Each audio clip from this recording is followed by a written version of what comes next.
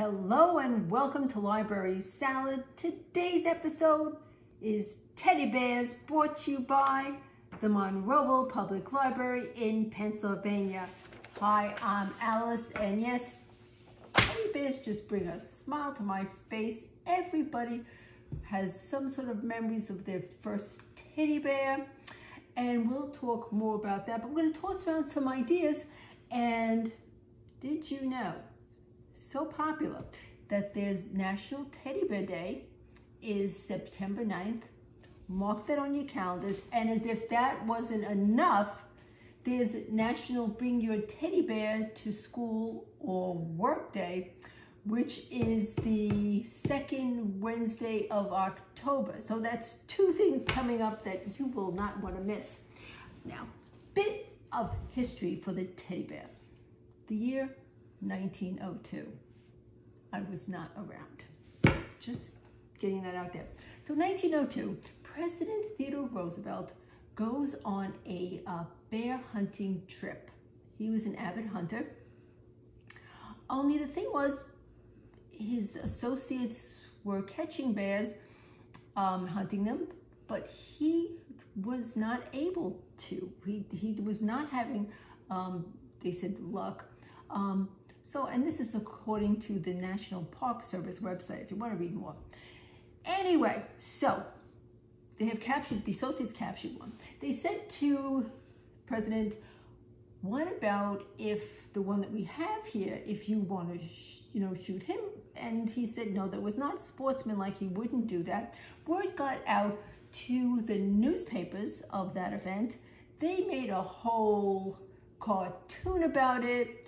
Uh, husband and wife in Brooklyn, who owned a candy store, saw the cartoon and decided since they were making stuffed animals anyway, they would do a tribute with the president's permission to make the first teddy bear.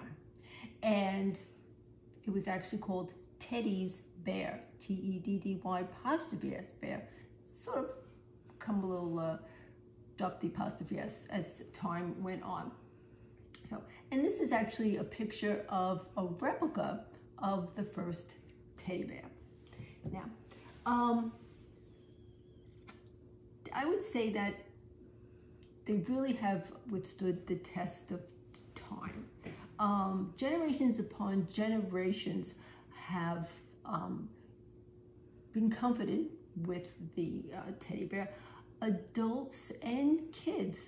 Um, for children, it's been considered a very, um, the comfort is given, especially when there's some sort of transition in their life. Maybe they're starting school, things like that.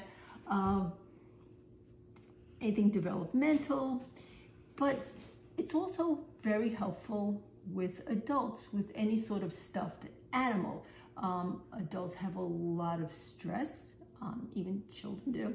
Um, but did you know that the Build-A-Bear Company, along with uh, Atomik Research, found that 40% of adults sleep with stuffed animals and that they do find it very helpful. Um, and that 25% of Build-A-Bear customers, um, they're buying the bears for teens and adults. I thought that was an interesting fact right there. Um, there's been a lot of very iconic bears throughout the decades. Um, let's see, the most popular and got it at the library. Winnie the Pooh. Here is the collection of the complete tales of Winnie the Pooh. And then another one is Paddington. And after that, we've got DVD of Care Bears.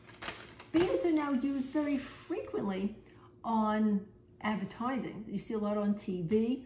Uh, there was the Snuggle fabric softener bear, and now very common um, for one of the popular toilet papers is the whole bear family. That's what's good.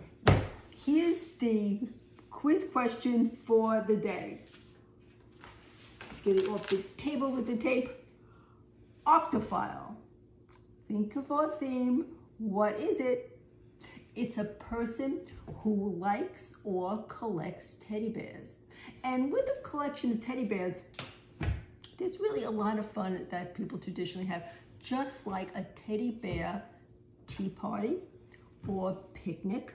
Um, I was looking for some teddy bears today. Actually, there's a couple people around the library. For some reason, no one had one with them at work. They said that we had them at home, but not at work. And funny, when I said to them, when it's the office says, oh, do you have a teddy bear here? Um, they said no. No one said to me, why are you asking? I think that speaks a lot for my relationship with the people at the library. Sure does. It sure does. It sure does. Um, so didn't have it. So on my way, I sort of put together a couple of things and made this picture. I don't know what else to tell you. So what you could do, if you're gonna have a tea party um, or picnic with your teddy bears, you know, get gussy it up a bit, okay? There's nothing's complete without one of these fancy hats, okay? You may have seen this on previous And we're off. And we're off. Here we go. And what you can also do is make a little food with that, okay? Everyone likes a little snack with their tea, okay? you may say, what does this have to do with anything? It doesn't really, but when Rich went shopping, today happened that we're filming is actually Cinco de Mayo, um, and this is a plantain. So at some point, this is gonna be part of um, the festivities along with flan uh, for today, but I don't believe I've ever seen a plantain quite like this. So I just wanted to share that with you as I'm bruising this all over, and we're talking about tea parties. Moving on. Okay, another book. Now, with the thing with teddy bears, big question. This is from the book Buy, Keep, or Sell by Judith Miller. Because if you've got a collection, some people may inherit collections or uh, decide something else they want to do with it. This is a great book. I had just skimmed this because I wanted to find some things to show you on this. And in the case of, you might say, what are teddy bears actually worth? Obviously, like anything else collectible, there's a big range of this. This little fellow, okay, is a Bing plush bear.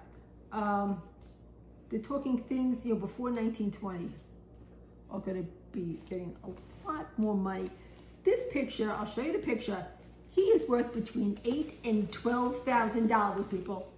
Between eight and twelve thousand dollars. This little fellow here. Okay. There you go. All right. And then it also tells you, well, if you're thinking of starting to collect, what's the type of thing you might want to look for to start a collection? And one of the things they say is something unique. If it was made for an event, that's going to get you more money.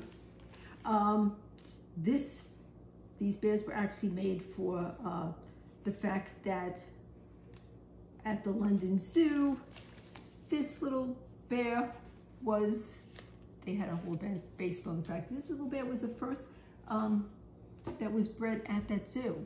So, this one, look how cute, look how individual like he looks, very different, um, and that's the cost. So, if you are thinking of starting a collection, Monroeville Public Library, got this off the shelf yesterday, I'll be giving it back tomorrow. Um, so there you have it.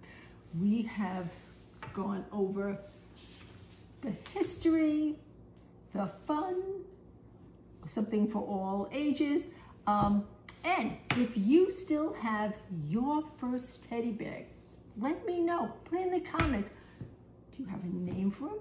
I'd like to see pictures um, because they've really changed over the years and I think it just makes people very happy to think about back in the day.